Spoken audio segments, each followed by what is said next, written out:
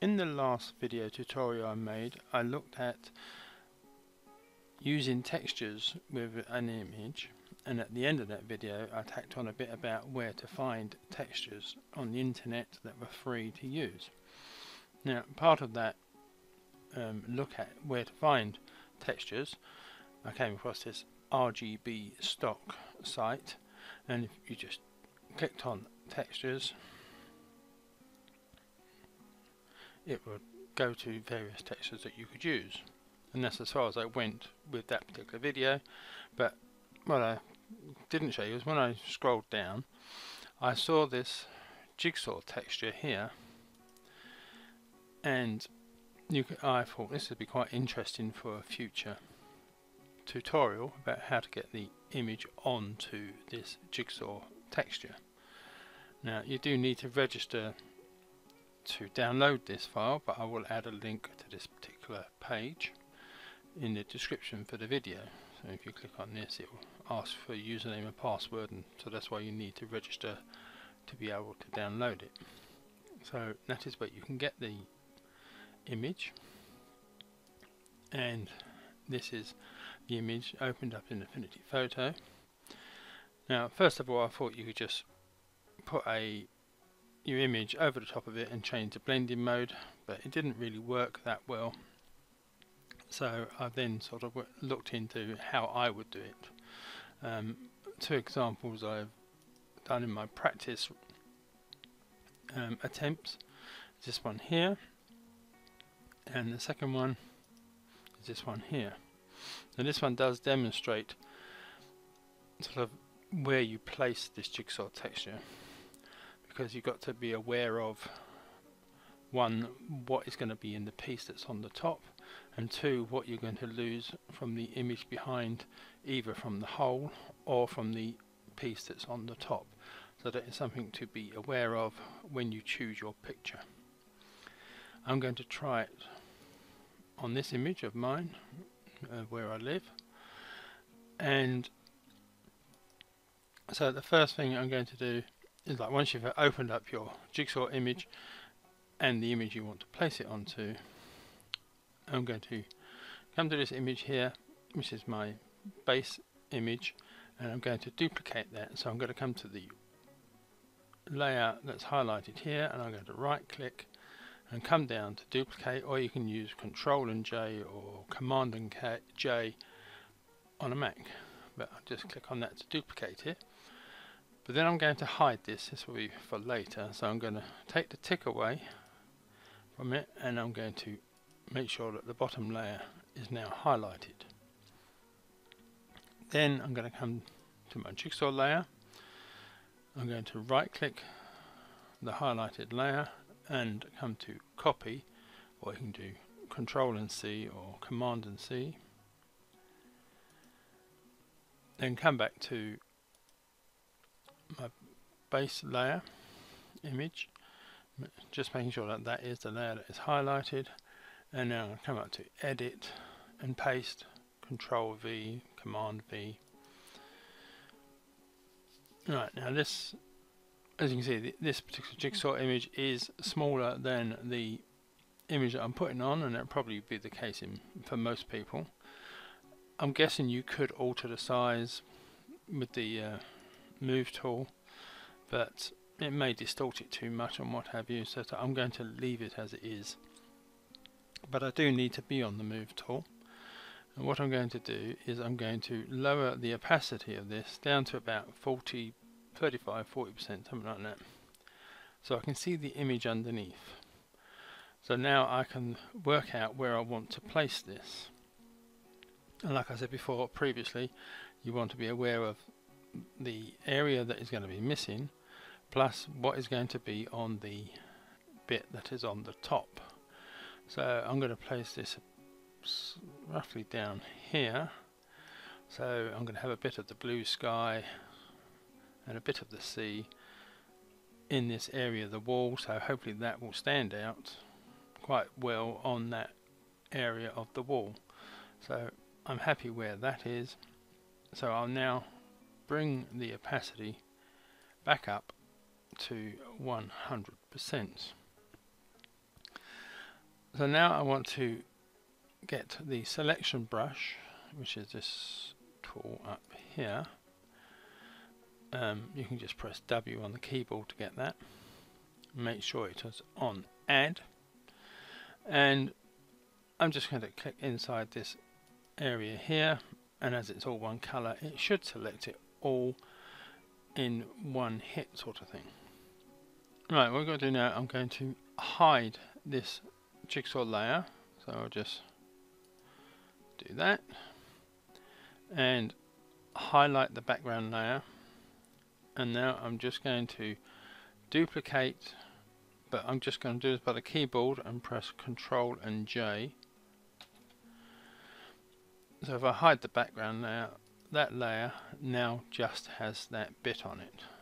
So I'll bring that back now. I need to remove that to demonstrate to you what the duplicating is only duplicating the area that was selected. So now that I have made my selection I can now press Control and D to lose that selection area and now I can bring back the jigsaw layer so I'll highlight it and then put a tick into that area there Right, next I want to do is to come up to the top layer, which is duplication of the bottom layer, and unhide that. And we're going to change the blend options rather than the blend mode for this particular layer.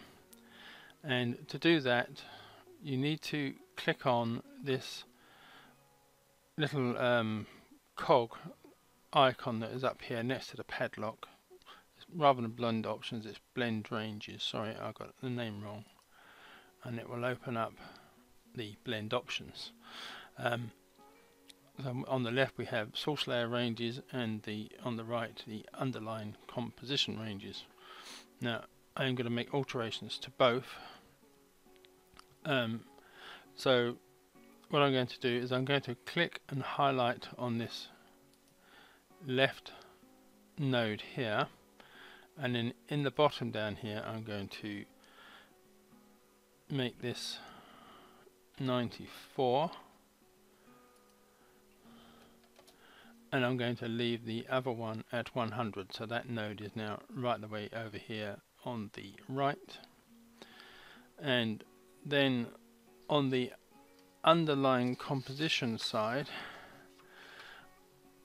what I'm going to do is I'm going to add a node in the middle. So I'm just going to click about there. So I've now got three nodes. Now I'm going to click on the left node and I'm going to make leave the in option at zero and I'm going to make the out option zero which will put this right down the bottom. The middle one which I've added I'm going to make the well it's roughly, roughly on 50 anyway so I'll leave that on 50 and I'm going to make the out option roughly again 50 but I'll make it 49 and then this click on the right node and I'm going to make the in option 50 and the bottom out option I'm going to make that 92 so that gives you this weird um, shape on the underlying composition range. So I can now close that so as you can see we can roughly see the jigsaw just shown through. So that is what, what I'm after here. So what I'm now going to do is I'm going to click on the jigsaw layer and I'm going to duplicate that and then I'm going to click and drag this to the top of the layer stack and I'm going to change the blend mode from normal to multiply. So this will give me the better outline for the jigsaws and not lose the quality of the image that is underneath which is what I found happened when I just used blend modes. What I want to do next is click and highlight on the single jigsaw piece that we made earlier by the selection and again click and drag this to the top of the layer stack. Now we're going to use the move tool and it might be easier to zoom in on this one because we're now going to move this piece to sit over the piece that it is representing. So we're going to click and move this over.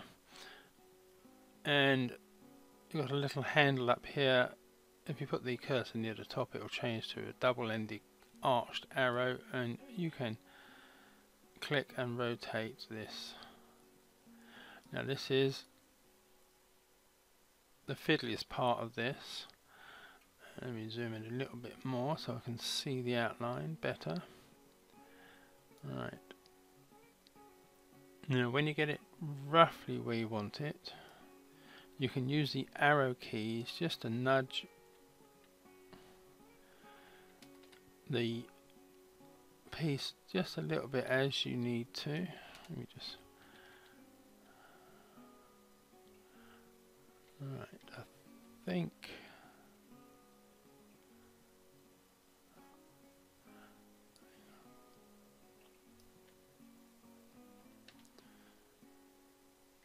Right, I think we're almost there. I'll just come down a little, no, up a little bit.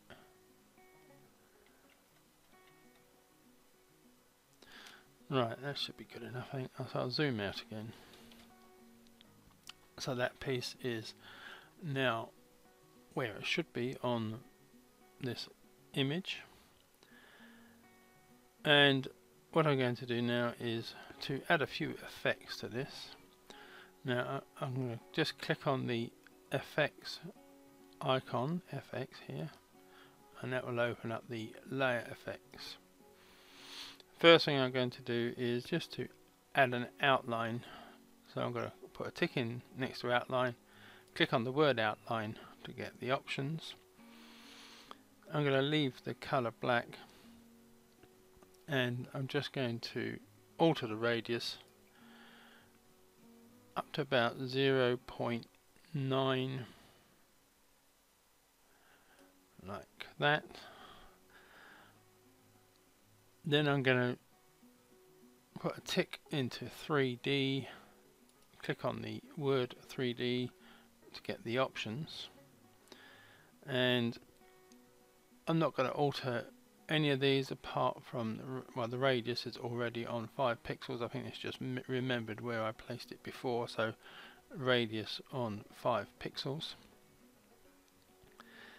Um, next I'm going to add a little outer shadow. So put a tick in outer shadow click on the word to get the options so I'm going to do a radius of 12 an offset of 9.5 and an intensity of 80 and opacity I'm going to leave on 50% and the angle I'm going to leave on 315 so then I can close that. Let me come off the move tool so you don't have that blue box around it. So hopefully that will now make this piece stand out a bit better on the image behind without making it look too out of place. So what I will do though is I'm going to just add a levels adjustment so I'll, I'll come down to the adjustments icon. And this may now be a bit brighter than the image behind so I'm just going to sort of tone down the brightness of this. So I'm just going to move the gamma slider slightly and try and get it look closer to the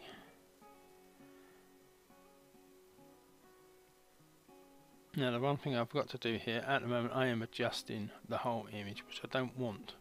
So what I need to do is to click and drag this down so it is inside this layer. And what will happen is we get a blue line that comes across here, but it only goes as far as the icon. If it goes further than the icon, you've gone too far. So I'm going to click and drag this down. And there we go.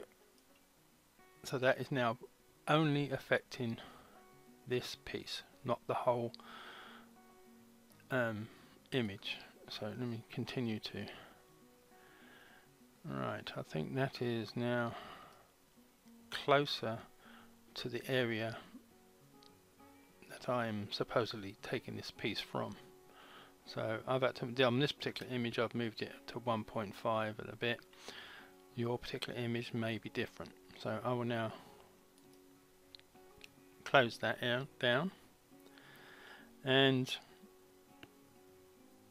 technically now this would be virtually the end of the tutorial. Um, the only thing here is you know the jigsaw because it goes over the edges or you know there's obviously extra pieces here which we don't have. I'm going to need to crop this. So this fits the jigsaw image that we are working with. Down to there. That to there and that up to there. Me just double click in there. So there you have your jigsaw and that would be the end of the tutorial so you can save this under a new name. Now if you want to take this slightly further and you want to have a texture in this area here what I'm going to do next is I'll just highlight that top layer right click and come down to merge visible.